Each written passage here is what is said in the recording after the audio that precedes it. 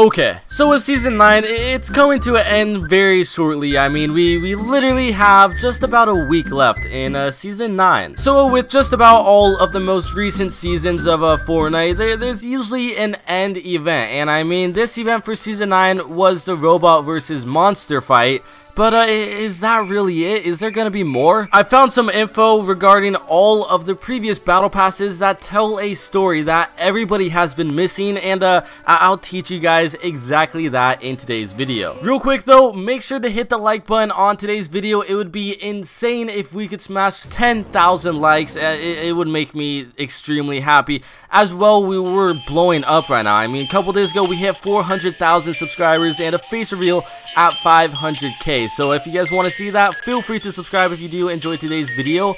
But uh, I am not going to waste any more time. Let's begin. So over the, the past two years, it, there's always been hype for every new battle pass that Fortnite releases. And uh, there, there's usually these YouTube videos of people coming up with these theories of what the next battle pass might be. And all of them are usually wrong because uh, Fortnite, they they've been hiding it from us. Not too long ago, I, I wanted to figure out what Fortnite was doing. I wanted to crack the Battle Pass code or the, the brand new season codes because obviously they, they do a lot of hints. Fortnite, their game, they're known for hinting towards the future and uh, we, we've all been missing this but in every single battle pass they, they've been telling us exactly what happens throughout the season. Way back in Season 2, I mean the theme of the Season 2 Battle Pass was knights, it was medieval, all that stuff, but it had nothing to do with space, which was pretty interesting because at tier 24, there was a space banner, and uh, that was actually hinting towards the Season 3 theme, which uh, it, it was space, which was pretty interesting. Between Season 2 and Season 3, there was no event, there were no cinematics, and uh, that that's because, I mean, Fortnite way back, it, it wasn't blown up. They didn't have the money, they didn't have the team to produce the type of events that they do nowadays. With Season 2 already predicting what the Season 3 Battle Pass theme was going to be, literally space, that's exactly what Season 3 was. But Season 3, it, brought even more to the table. At the end of Season 3, there was a massive meteor event where uh, a massive meteor or an asteroid or whatever hit Dusty Divot, creating the massive hole that we still have in the map today, and that was actually predicted or hinted at in the Battle Pass, just nobody really caught on to it. In Tier 86 of the Season 3 Battle Pass, there is the Kaboom banner, and uh, it's literally hinting towards the massive asteroid or meteor that would once hit Dusty Divot, and you could even see that this explosion, it was massive in the, the Season 4 cinematic trailer. I mean, it, it literally just blew up the entire map, it looked like. Not only did the Season 3 Battle Pass predict this massive explosion, it also predicted the new rockets that would happen in Season 4. It might just be a coincidence, but it kind of makes sense. I mean, Tier 22, it's literally a rocket, as well as Tier 46, there's a pickaxe with a rocket, but it gets a little more interesting. In Tier 16, there is a paw print banner, or a little paw print thing, and it, it, kind of foreshadowed what was going to happen in Season 4. I mean, in Season 4, we started to see these paw prints on the ground around the map, which were never there in Season 3, as well as a T-Rex skull in tier 99, which uh, obviously that, that footprint, it looks to be like a dinosaur's footprint. Now with no doubt about it, Fortnite Season 4, it, it literally blew the entire gaming community away. I mean, they had their first ever live event, which uh, nobody really knew anything about until uh, it actually went down. It shocked a lot of people, and that was the rocket launch. I'm, I, I'm not sure if any of you guys remember that, but uh, it, it, was pretty sick. Now that rocket launch, it was at the very end of Season 4. It's what led Season 4 into Season 5 with a lot of hype, and uh, if you don't remember from the rocket launch, it goes straight up into the sky and then it goes out from a rift to another rift to the other side of the map destroying like buildings and stuff eventually leaving a massive crack in the sky which uh it, it was a massive rift-like thing. Since rifts were not added into the game until Season 5, in Season 4 Tier 54, there was an abstract spray, and uh, it, it looks exactly like a rift, and this was definitely hinting towards the massive rifts and rifts that were created into the game after this event, which uh, none of us really caught on to it because everybody kind of just looked past the spray, but it actually was telling us a message that nobody knew. Now, Season 5, this was a pretty interesting one because uh, it, it, obviously, uh, there was nothing I could find that would predict it to something later on in the season or even into the next season. This is where I could not break the code and it doesn't fit the pattern that Fortnite is used to doing. The closest thing I could find is a tomato head loading screen. In season 5 in week 7, Tomato Town was converted into Tomato Temple and this loading screen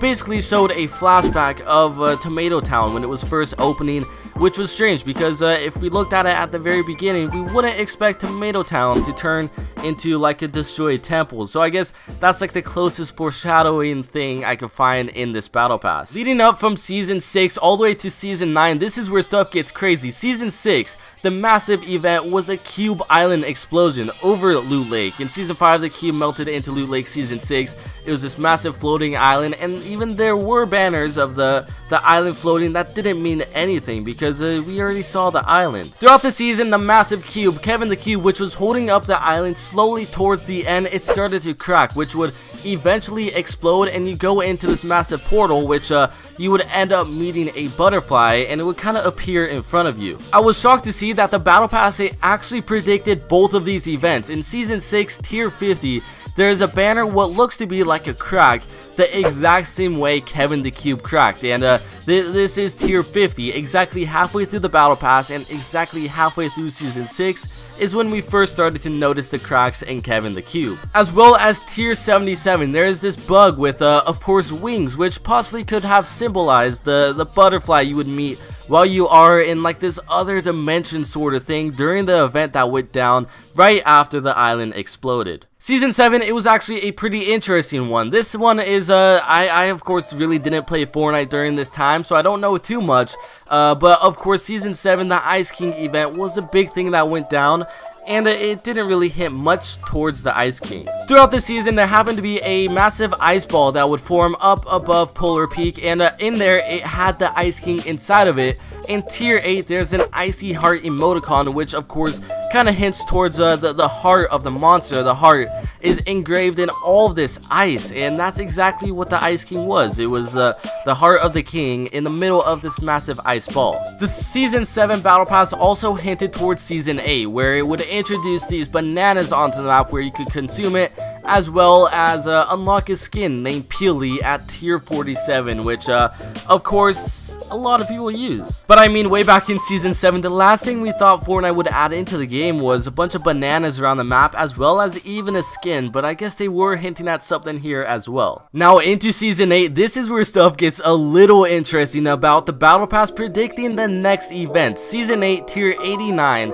the Angry Volcano. It's basically foreshadowing what was going to happen at the end of Season 8, and that is basically where the volcano erupts, and uh, what, what is this? It's obviously a, a angry volcano erupting.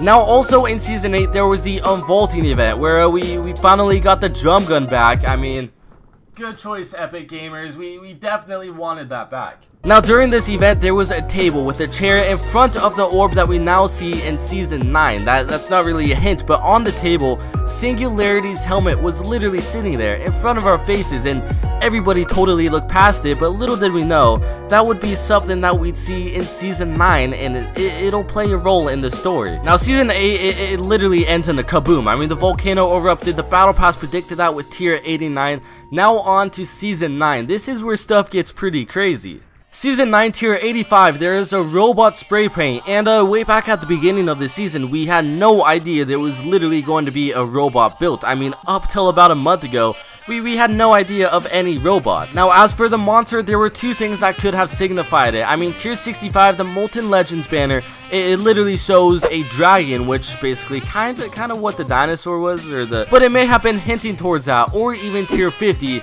there, there is a dinosaur, which uh, could have signified what the monster could have been. Now, with no doubt about it, it's been leaked that the orb in the middle of Loot Lake, it is soon to get unstable and eventually explode, which tier 78, there, there's literally a banner of an explosion, and uh, that, that could be referencing the orb that is going to explode, but uh, it's a little bit more deep than that. The orb in the middle of the Loot Lake, it's literally powering the entire city of Neo Tilted as well as the slipstream and the, the, the cables that connect to Loot Lake all the way up uh, around the slipstream and even into Neo Tilted it's starting to rip and it looks like it's going to break very soon which uh, in an official video from Fortnite of the World Cup trailer it shows this player's face as well as part of the screen which uh, could be the map leaked. I mean you could literally see the entire Slipstream's trail, it, it, it's purple as well as a lot of the map it, it's like blacked out. It's as if there was a power outage, which makes a lot of sense because the cable's ripping. In Tier 97, there is a power surge wrap, and a power surge is basically uh, a spike in your home's electrical current where it'll cause a lot of damage. Basically, the electrical goes out or it spikes, and uh, th there's like no power at times. Could this wrap be hinting towards something that's going to happen at the end? I mean, it's literally the last item you get. In tier 94, you have the neon glow banner, and in order for the neon to glow, I mean, it, it, literally looks like the map in the background. It's dark outside. It's as if it's night or there's no power at all. Now the map, it, it totally looks destroyed. It looks post-apocalyptic almost, as if maybe the dragon from tier 65 or tier 80, the heat, it, it it sent the dragon out to destroy the world or maybe even the storm that is mentioned in tier 75, tier 77, as well as tier 84. There might be a storm that overlooks the entire map and uh, it, it kind of wipes it out. It destroys it. It destroys a lot of power. The map is totally dark. I don't want to stretch this video out too much, but uh, th there's definitely going to be something to do with a power outage at the very end of the season, and the main thing I wanted to get across in today's video is that the battle passes, you look into them, and we can figure out what will happen later on in the season, and I'm going to try my best to do that for Season 10.